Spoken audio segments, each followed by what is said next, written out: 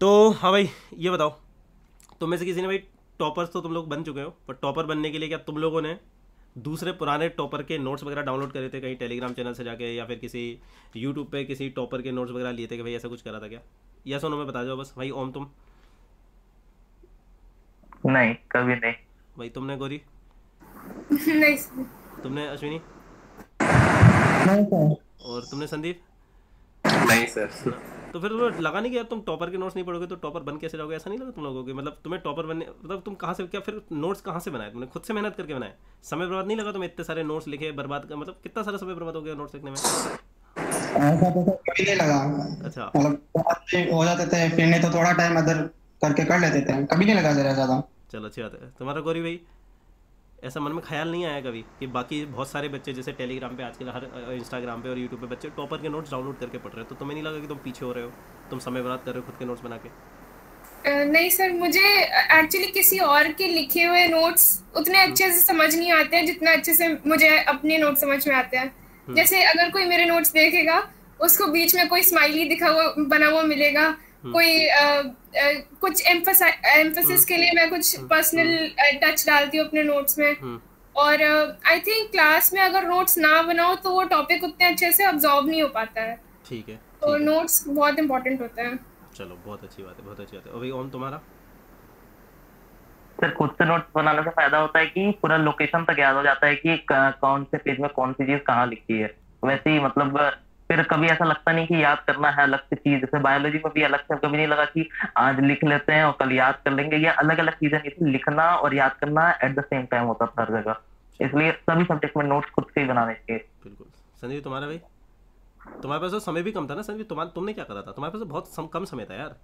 तो मैंने- भी पाए थे? तो मैंने तो सर ये किया था कि सर मुझे पता था कि मेरे ये चैप्टर्स वीक हैं तो ये मुझे सबसे पहले करना है। तो सर मैं चाहता था कि मतलब फॉर्मूले देख के सारे करने लगता मतलब क्वेश्चन प्रैक्टिस करने लगता।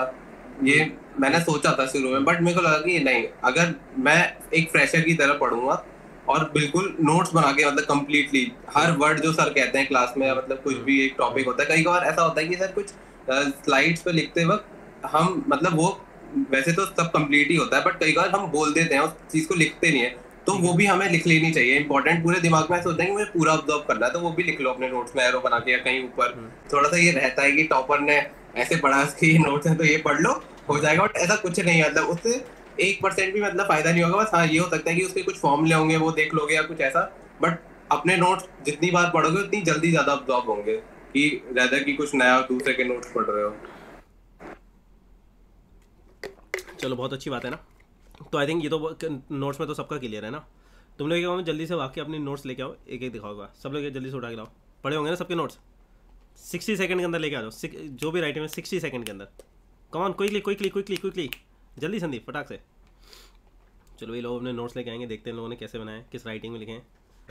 आ जाओ फिर आ जाओ है ना? तो भाई, लेके आ गए फिर सब लोग अपने नोट्स चलो भाई, ठीक है स्टार्ट करते हैं भाई। चलो, ओम, तुमसे शुरुआत करते हैं भाई बताओ तुम्हारे नोट्स कैसे हैं? दिखाओ कितनी गंदी और कितनी अच्छी राइटिंग लिखी है तुमने। तो ये सेम ही कलर से पूरे नोट्स बना लेता था, कभी भी अलग अलग पेन का यूज़ नहीं किया। थोड़ा सा लेकिन अलग थोड़ा सा दूर थोड़ा सा दूर करो एक ही पेन से लिख रखा है ना ठीक है? हाँ लेकिन ये देखें जैसे कि ये जो वाला है ये रोटेशन का है जब सर पढ़ा रहे थी कि असलियत में जो टॉर्क का फॉर्मूला होता है वो R vector cross F vector Q होता है? है ना? Force into lever arm actual होता है फिर वहाँ से निकल के आया आर क्रॉस। एफेक्टर लेकिन उसमें फिर आर वेक्टर का एक्चुअल मीनिंग क्या होता है? ये चीज़ में मेरे को डाउट था। कभी कभी इसमें क्वेश्चन गलत हो जाता था। तो डीपीपी में एक क्वेश्चन था जिससे समझ में आया कि आर वेक्टर का एक्चुअल मतलब है कि जिस पॉइंट पर निकाल रहे हैं जिस पॉइंट से निकाल रहे हैं। हम्म, मतलब हम्म। आर वेक्टर का हेड कहाँ होगा टेल कहाँ होगा? तो फिर उसको तो कॉन्सेप्ट है ना? हाँ हाँ, ये करना होता है। इंडियड इसलिए बोलते हैं नोट्स बहुत पर्सनलाइज चीज़ होती है किसी और के से तो पढ़ ही नहीं सकते।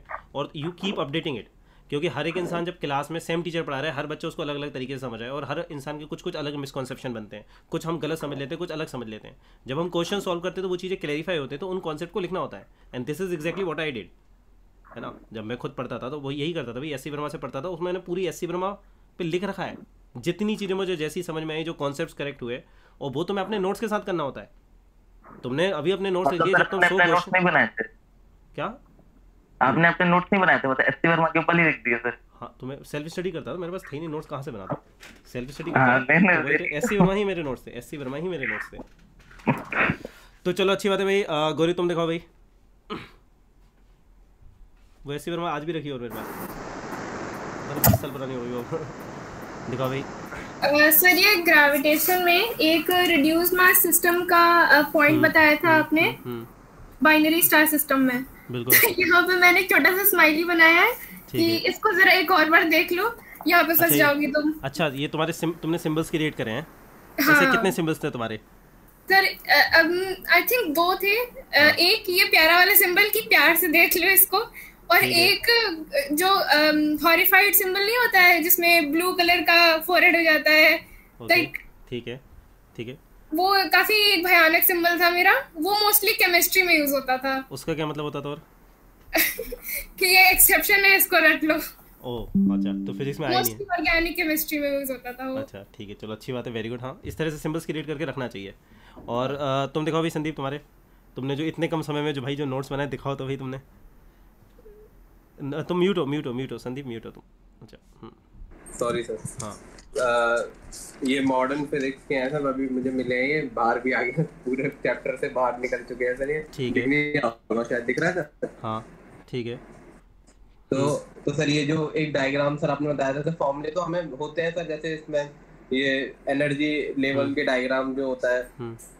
नेचर ऑफ़ एटम वाले में सर की इस डायग्राम से बहुत सारे क्वेश्चन सॉल्व हो जाते हैं। हम्म, अगर ये डायग्राम दिमाग में है। हाँ ये ये पूरी वैल्यू दिमाग में होनी चाहिए। डिफरेंस भी और तो- उनके अ, हाँ। हाँ अगर ये वाली चीज़ है तो आपको वो नहीं लगाना पड़ेगा। वैल्यू हर बार एन स्क्वायर और ये सब। हम्म, तो इससे काफ़ी मतलब और हम्म। ये जो आप लिखते थे सर कि फिजिक्स वाली पॉइंट एन ज़्यादा है तो हम्म। एनर्जी एनर्जी ज़्यादा होगी। जितना पास होता है उतना हम्म। वो स्टेबल होता है तो एनर्जी हाँ, कम होगी। मतलब एक तरीके हाँ। से हाँ हाँ। काइनेटिक एनर्जी कम होगी टोटल हम्म। एनर्जी ऐसे ज़्यादा होगी तो मतलब पूरा बॉक्सेस में क्रिएट करके पलट पलट के दिखाओ एक बार के- पलट पलट के दिखा दो ठीक है। बाकी सर ठीक है। उल्टे सीधे ये है मॉडर्न फिजिक्स के हैं सर ठीक है चलो अच्छी बात है अच्छी बात है। वेरी गुड वेरी गुड ठीक है चलो अच्छी बात है। भाई तुम बताओ भाई अश्विनी तुम्हारे बताओ। अश्विनी कह रहा मेरी राइटिंग बहुत गंदी है मैं नहीं दिखाऊँगा। म्यूट हो पहले अनम्यूट कर लो खुद को। हम्म। हाँ भाई दिखाओ। अश्विनी ये किसी इलेक्ट्रा तुम्हारे कंडक्टर के नोट सिखा रहे हो। चलो अच्छी बात है। हाँ है। पलटो पलटो पेज पलटो थोड़े। पेज पलट के दिखाओ। अरे तुमने बड़ी प्यारी राइट अरे भाई। तुम बहुत जगह छोड़ छोड़ के लिख रहे हो। तुमने कितनी कॉपियाँ भर दी? तुमने दस तो भर दी होंगी। कितनी? नोट सर मैं कुछ नहीं बनाता हूँ। क्या करते हैं नोट्स मैक्सिमम तो काफ़ी कम टाइम बाहर बैठना पड़ता था। अच्छा कितने कितनी कॉपियाँ भर दी तुमने फिजिक्स में? तीन चार चार कॉपीज और फिर उसमें कुछ क्लास के पेजेस बचे रहते थे। चलो अच्छी अच्छा चलो अच्छी बात है अच्छी बात है भैया ना। चलो अच्छी चीज़ है भाई तुमने बहुत प्यारी राइटिंग लिखी भाई बहुत प्यारी राइटिंग लिखी तुमने तो। चलो अच्छी बात है। ओम तुमने कितनी कॉपियाँ भरी फिजिक्स में इलेवन ट्वेल्थ में? सिर्फ़ नोट्स इलेवेंथ में हाँ इलेवेंथ में डेढ़ और ट्वेल्थ में डेढ़। और लास्ट लास्ट में मतलब जगह के कम पढ़ने लगा तो फिर कॉपी से फाड़ के एक्स्ट्रा पन्ने चिपका लिए। चलो वेरी गुड है। तुमने उनको फुल कंजूसी काम करा है। चलो हाँ। तुम्हारा बताओ गौरी तुमने कितने नोट्स भरे थे? सर इलेवेंथ में दो ट्वेल्थ में दो। अच्छा। ट्वेल्थ में ज़्यादा नोट्स थे तो काफ़ी कंजेस्टेड हो गया था अंत तक। हम्म ठीक है ठीक है। और तुमने भी संदीप अच्छा तुमने तो पाँच महीने कितने सात आठ महीने थे तुम्हारे पास हैं? तब मैंने तो एक डेढ़ कॉपी में ही काम कर लिया था। चलो वेरी गुड और मैंने दो कॉपी में कर लिया था। दो उनमें से इतनी बदली बदली कॉपियों में चलो आ जाओ भाई।